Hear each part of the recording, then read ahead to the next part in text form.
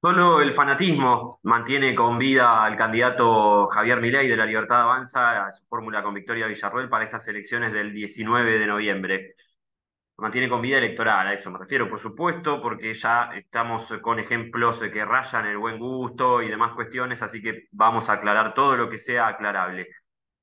¿Por qué digo el fanatismo? Ya sé, me van a decir, claro, pero ¿qué pasa con los fanáticos del ministro de Economía que tiene 150% de inflación, el dólar a mil pesos, que no hay nafta, que perfecto?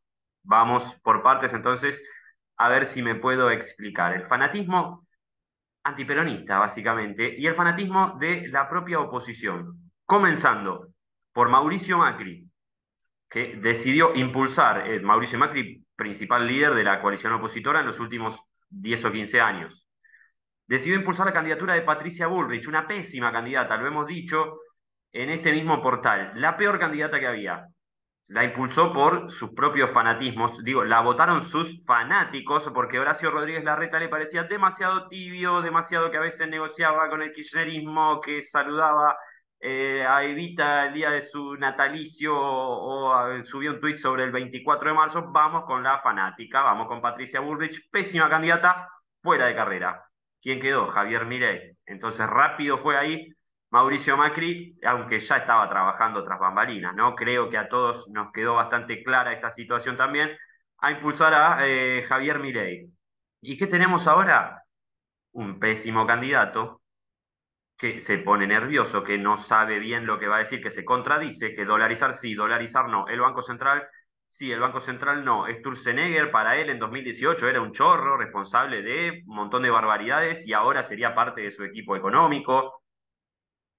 Educación pública sí, educación pública no. Todas las semanas nos vamos desayunando cosas nuevas.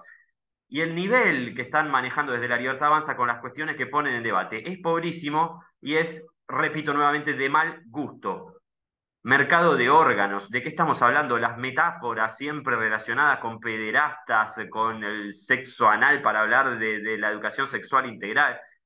Victoria Villarruel puso en debate el único pacto democrático de convivencia que tenemos en los últimos 40 años, que es el nunca más, y nuestros 30.000 desaparecidos y desaparecidas.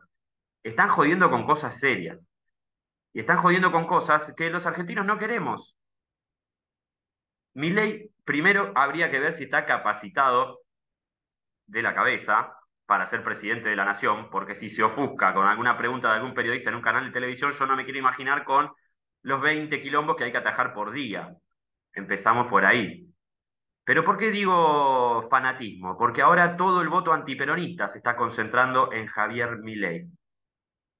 Entonces, esa porción de la Argentina antiperonista, ideológicamente, fanáticamente, va a ir a votar a un tipo en el que no confía del todo, porque después cuando rascate dicen, ir a mí lo de los órganos no, y la educación está más o menos bien, que haya más clase nomás.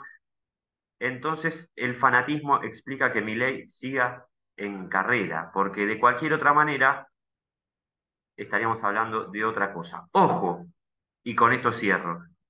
También la oposición tenía la elección más fácil que yo recuerde en los últimos tiempos, solamente tenía que empujar la pelota dentro del arco pero decidieron ir primero con Patricia Burrich y ahora con este personaje. Recomiendo que lean, yo por ahora hice algunos pasajes del libro El Loco, para entender un poco su personalidad. Entonces el fanatismo ha logrado que la elección más fácil que tenía Juntos por el Cambio como principal coalición opositora, hoy esté en veremos.